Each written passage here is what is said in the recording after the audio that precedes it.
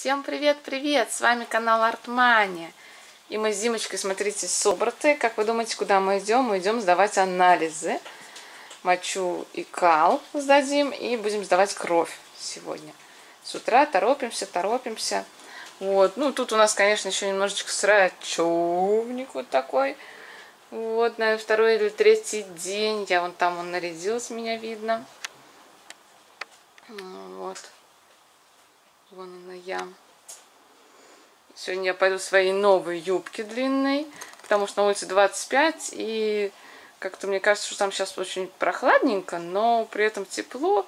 Ну, короче, хочу пойти в юбке, не хочу идти просто в шортах.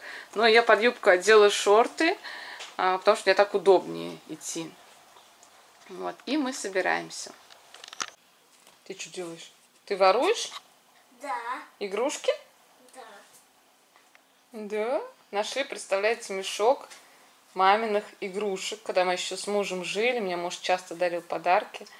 И это были вот такие мягкие игрушки. И сейчас перебираю. У нас приехала моя стеночка. Чуть-чуть вот краешек покажу. Вот еще не все протерла, просто там еще полы даже помыть толком не успели. Так, частично просто подмела я вчера только и все. Сейчас перебираем коробки, все раскладываю по стеночке своей, насколько это возможно, насколько силы позволяет. И вот сейчас нашли мешок. А ну вот этого я еще себе заберу. А вот это маленький тебе. Это вот вообще, кстати, маленькая это, губка мыться, чтобы. Его, кстати, постирать надо. У него пятно какое-то странное, да. Где? Вот, этого я себе заберу. Посажу его там на стенке, пускай сидит. Тоже чуть пыльненькие какие они. Ну, на елку я на... Я на елку. Наверх? Да. Вот, вот. Кресло тут коробками вот, тоже. Вот сюда. Да, да, да. Да. Тут тоже все завалено коробками. Буду постепенно, постепенно все это разбирать, перебирать. Очень много планирую выбросить. Вот, планирую очень много. А эта вот овечка была моя любимая игрушка. Дай-ка.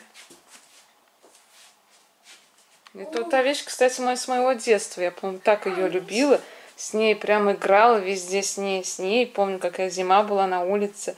Гуляла, поставила ее на снежок, а сама какую-то яму копала. Помню. Это моя любимая игрушечка была. Тоже поставлю ее себе. У меня А будет там- детство вспоминается. У меня вот это из детства вспоминается. И еще бегемотик есть. Резиновый такой, допотопный, наверное, у всех они были. Вот. Не дам. А почему? Мое. И. Шарик. На. Не хочу, говорит ребенок. Один раз испугался шарика. Все. Не хочу. Вчера еще надували тоже шарик. Вчера, что ли, на днях у нас лопнул. Оказались они какие-то старые, они им уже лет 10, наверное. На шарик. И нужен, мам. На. Оп. Боязнь шарика. Один раз ему надули шарик, он был маленький, годик, наверное, с чем-то ему было. Он так резвился с ним, так бегал, прыгал, а меня не было, я слышала только, что он тут бегает с ним, прыгает, и шарик упал на пол, и что-то, видать, сестра лежала на полу. Как? Лопнул, и все, у него страх этого шарика. Ну, так бывает, что ж, лопаются они. Также страх салюта, да, Дим? В прошлом году сидели на даче, 9 мая было, отдыхали, и неожиданно прям бабах! Если положил я на калачай. Ага, положил. Ну, что ты не играешь с ним? Ну, положил я.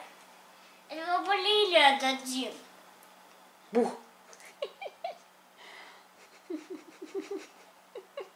Только не лопай, нельзя лопать. Нет, не тыкай, мам, не тыкай. Нельзя тыкать. Пу! Нельзя, мам, тыкать. Нельзя. Ну, мне же не острый пальчик, что, он же это... Нет, не тыкай.